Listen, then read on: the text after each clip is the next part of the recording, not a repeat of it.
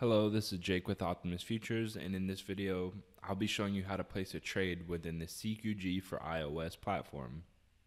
Placing a trade on this platform is a very simple process. All trades will be placed through the first tab where your quote board is on. And if you're familiar at all with the CQG desktop platform, it is a very similar process to that. At first glance, you will not notice a trading button to place any of the trades, but to gain access to them, click on any of the active contracts you see on your quote board. And when you click on one of the active contracts, not only will your charts pop up, but you also have your DOM or your hot chart, your order ticket page, your orders, positions, etc. This is where you will be placing all your trades within this platform. Now, unfortunately, because I am using the demo version of this platform, I will not be able to place a trade that you will be able to see in my orders or my positions tab. All I can do is simply simulate the fact that I am placing an order. Fortunately, most platforms have similar functions when attempting to place a trade. As you can see here, I'm working within my DOM chart. And if I wanted to place a trade below the market price, simply scroll down below the market and click on the price I'd like to trade at. When you do click on one of the prices within your DOM chart, the trading buttons on the right will automatically adapt to the position you pick on the DOM ladder. And based on the price that you do select in your DOM ladder, your trading buttons will adjust accordingly to whether you can place stops or limit orders. Now, if I scroll over one tab to the right under my ticket tab, this is where you can manually place all of your trades in without going through your DOM chart. Unfortunately, you can't have your DOM or a regular chart open at this time. You'll simply have to maybe write down a price or just put that price in your head, and then you can manually adjust it within this page. Another way of keeping track of the current price is to press the play button that I'm currently clicking on. This automatically adjusts the price on the ticket page to the market price of the current contract based off of CQG's data feed. You can also enter in a custom price by clicking on the price.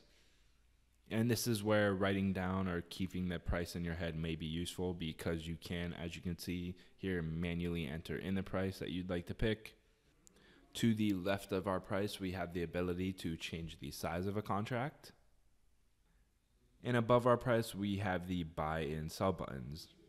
Depending on what you click, your ticket window will adjust accordingly, green being buys and red being sells. Below our price buttons, we have the order types and the order durations.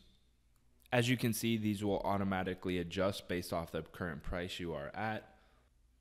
But if you would like to manually enter in your price in the order type, you have the ability to do so. And as I mentioned below the order types, we have the order durations. There's fill or kill, fill and kill, day, or good till day.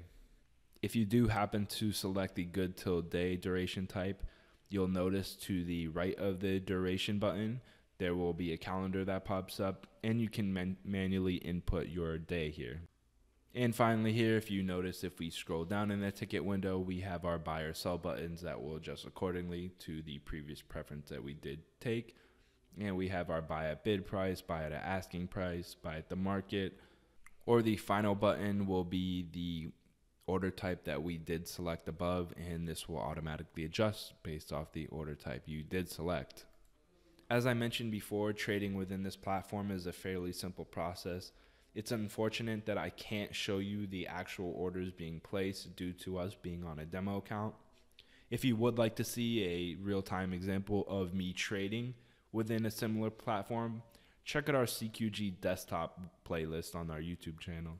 Here you will find tutorial videos on how to manage the order ticket windows, your orders, and your open positions. As you may have saw, all of these features are packed within the CQG for iOS platform, but like I just mentioned, I can't show you these in true detail based off the fact that we are running a demo account. Thanks for watching. If this video helped, feel free to give it a thumbs up. If you have any further questions, don't hesitate to give us a call or send us an email. Follow us on Twitter, Facebook, and don't forget to subscribe to our YouTube channel for more informative content related to the futures market.